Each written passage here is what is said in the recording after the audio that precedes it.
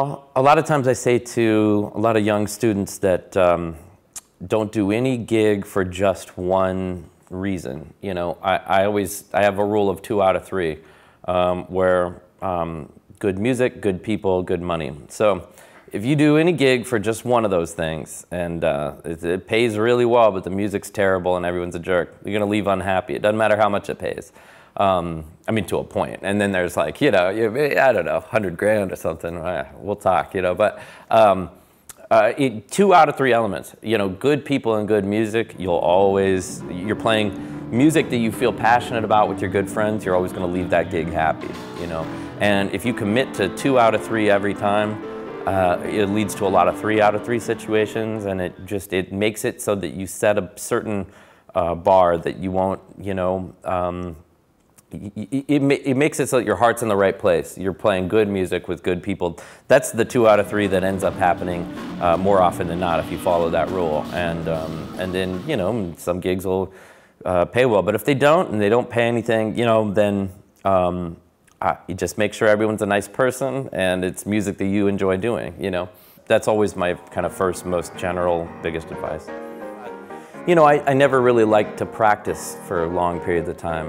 Um, and, but my mom would use these psychological uh, approaches to uh, get me to practice. Like she wouldn't tell me to, you know, you need to go practice and stuff. She would just be like, oh, well, you know, sounded a little, sounding a little sloppy recently, you know. So I was like, what are you talking about? You know, and I'd go practice. So, and actually Dave Brubeck was one of them, kind of like a, uh, kind of a little bit of a grandpa figure and stuff. And I, you know, it was always cool being around him, learned a lot from him, and um, the whole Brubeck family, Chris and Dan Brubeck, they, I started traveling a lot with them when I was uh, 14. I joined their band, the Brubeck Brothers.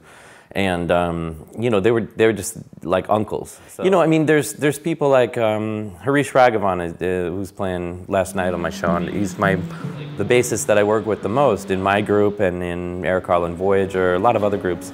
He knows me so well that he also wants to he wants me to get away from my tendencies. And so musically, there'll be things where he, he knows that, um, you know, he has a way of sussing out, like if I start doing kind of um, something that I have a tendency to do frequently or something, you know, he'll, he'll, he'll put me outside of the comfort zone right away. And he'll play.